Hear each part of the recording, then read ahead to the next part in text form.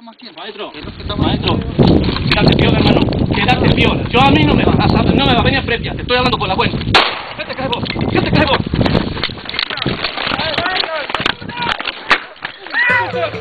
Y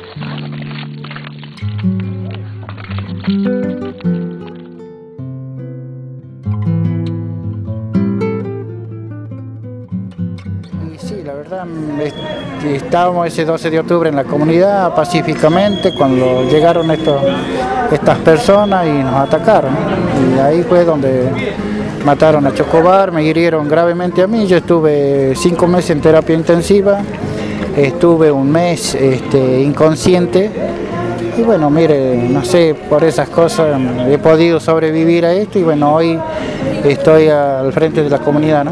Nosotros este, estamos sin, sin, sin, sin, nuestro padre y los asesinos estos que, que han cometido este hecho eh, están libres, eh, andan sueltos y gozando de su libertad cuando nosotros estamos sin un padre y ya tenemos cinco años que se va a cumplir y no se hace justicia hasta, hasta ahora. Digamos. Se, podría, se, se puede pensar en una condena perpetua porque estamos hablando de personas que han ido con la intención de, de, de, asesinar, digamos, eso está en las pruebas, está en el video, que han ido armados y que la comunidad estaba defendiendo pacíficamente su derecho al territorio. Los acusados de Darío Amin, eh, Gómez y Valdivieso, dos ex policías, ¿no? Y Amin, eh, bueno, el terrateniente, fue con ellos. Ellos son, la causa está caratulada como homicidio y tentativa eh, de homicidio y además por portación de armas.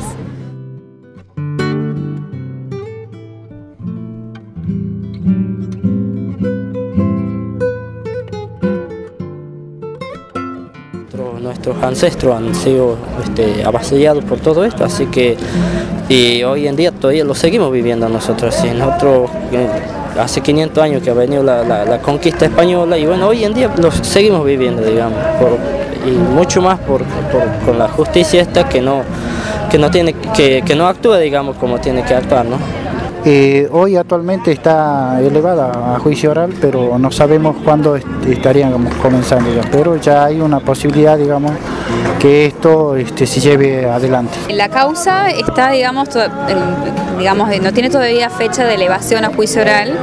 Hay una citación a juicio, pero no todavía la fecha concreta en donde empieza el debate oral.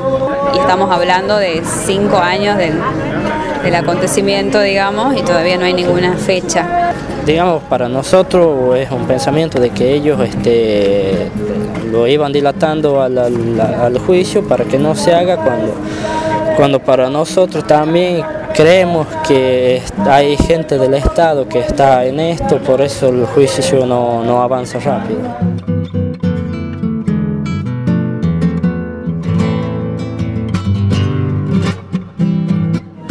Difundiendo esto acá, pidiendo la colaboración, una fotito a la gente, le estamos entregando una folletería.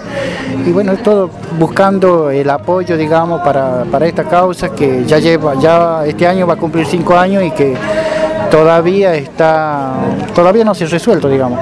La campaña es por eso digamos para que, poner en evidencia que a pesar de que ya se está como destrabando un poco ya son cinco años y no pasa nada no hay una fecha este, y bueno y las pruebas se van o sea hay que conservar digamos las pruebas eso es como la principal preocupación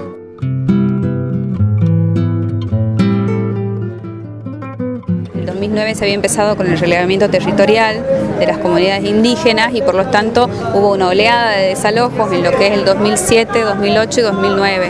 Esto fue, o sea, esto se ha desencadenado por todo este, un interés de los llamados terratenientes que tienen en el territorio de las comunidades indígenas, digamos. Todos sabemos que hay muchos, incluso dentro del Poder Judicial, hay muchas personas como interesadas económicamente en, el territorio donde habitan las comunidades indígenas. Mire, la comunidad somos de, venimos de tiempos inmemorables y no solo por el hecho de que digamos hoy somos indígenas, sino por las huellas de nuestros ancestros, por todas las cuestiones que hay digamos dentro los sitios arqueológicos, los sitios de ceremonias que se encuentran mucho en la zona. Así que eso es un testimonio vivo de que existieron y que existimos hoy en esos lugares.